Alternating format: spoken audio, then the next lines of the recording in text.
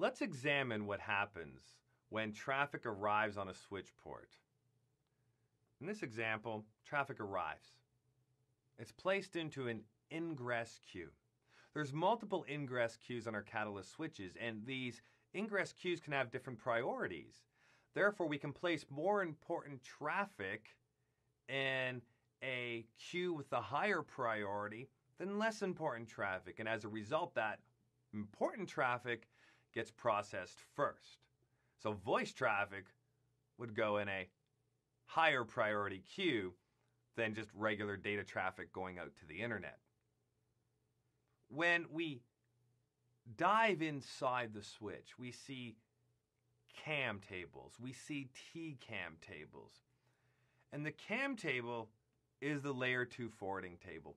It is the table with the MAC address entries, the port we can utilize to reach that MAC address, and the VLAN the port is associated with. So this CAM table will be referenced to determine what the egress port is going to be.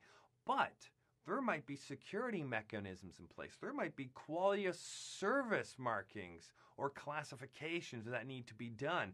And that's where we can have TCAM tables coming into play for really fast, efficient lookups for security purposes and quality of service. For example, we might have some MAC address access control lists put in place to permit or deny certain frames entry on a particular interface or being able to be uh, exited or forwarded out of the catalyst switch. And we might also have some quality of service markings, or we might have to do some classification on the traffic, and ultimately even determine what egress queue is the frame going to go into based on whether it's voice traffic or data traffic. So all of these tables are going to be referenced at some point in time during the process of taking that frame from the ingress queue and ultimately sending it to the appropriate egress queue so it can continue on its journey to the destination device.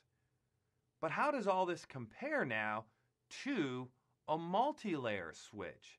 As we see here, we're dealing with strictly just the, the procedures that a layer 2 switch would go through. But a multi layer switch adds on top of that because the multi layer switch will perform routing as well. So the multi layer switch needs a layer 3 forwarding table, a FIB, known as the forwarding information base. And inside this forwarding information base, we have the different destination networks that we have learned about, or the switch, the multi layer switch has learned about. And what is the next hop IP address in order to get to that particular destination network? On top of that, in order to make the process even more efficient and quicker, there's next hop MAC address information in there as well. And the egress port that's going to be utilized in order to reach that particular destination network.